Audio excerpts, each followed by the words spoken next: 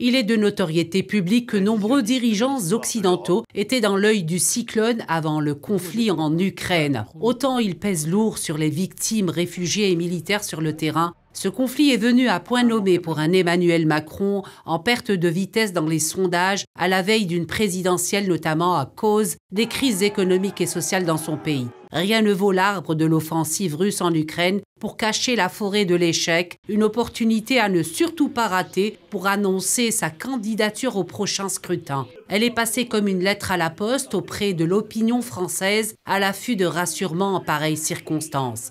Les échanges d'obus entre Russes et Ukrainiens permettent aussi à un Boris Johnson de paraître sous un autre jour, éclaboussé par l'affaire du Partygate et le risque d'une fin politique par la petite porte. Le Premier ministre britannique est désormais l'homme de la situation. Ses interventions sur les médias occidentaux laissent croire qu'il a rendu à la Grande-Bretagne ses lettres de noblesse après un difficile divorce avec l'Union européenne.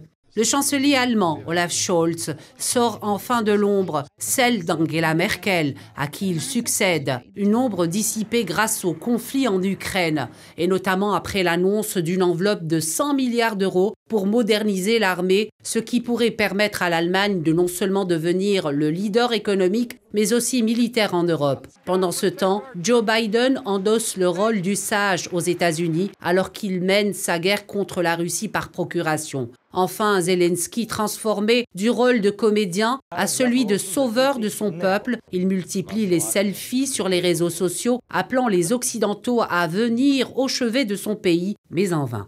Quoi qu'il en soit, reste un Vladimir Poutine sourd à tous les appels pour l'arrêt de l'offensive en Ukraine, avec pour seule idée faire renaître le glorieux passé de l'URSS.